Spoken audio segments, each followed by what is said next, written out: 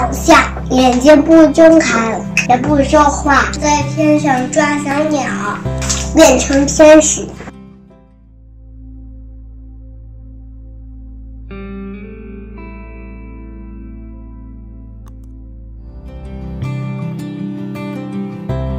我今年八岁，十一岁，十一，八十二周岁了。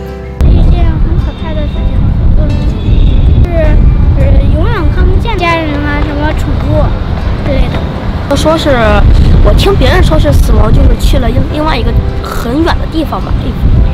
嗯，对，死亡是非常陌生的一件事，非常不接受。好好的活着比什么都重要。生老病死是一个规律。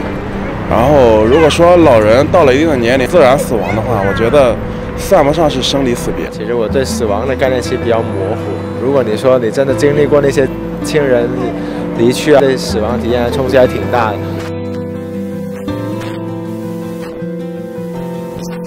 人都得死，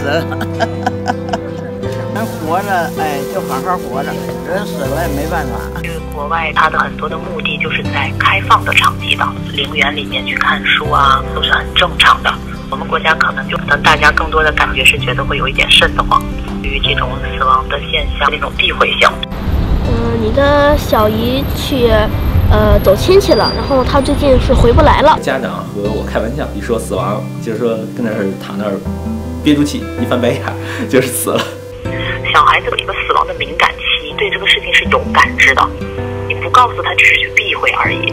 很多人都不知道“死亡”这个词汇是什么意思，要开展一些课，要了解一下死亡这个词嗯，我很希望有一个人在扮演我们朋友的一个角色，聊天中来这个跟我们说这什么是死亡啊。从我们的反应上来讲，也发现过对于呃死亡的无知，就是说探索这种死亡游戏，然后出现这种危险事件的事情，能够有一个提前的一个预判。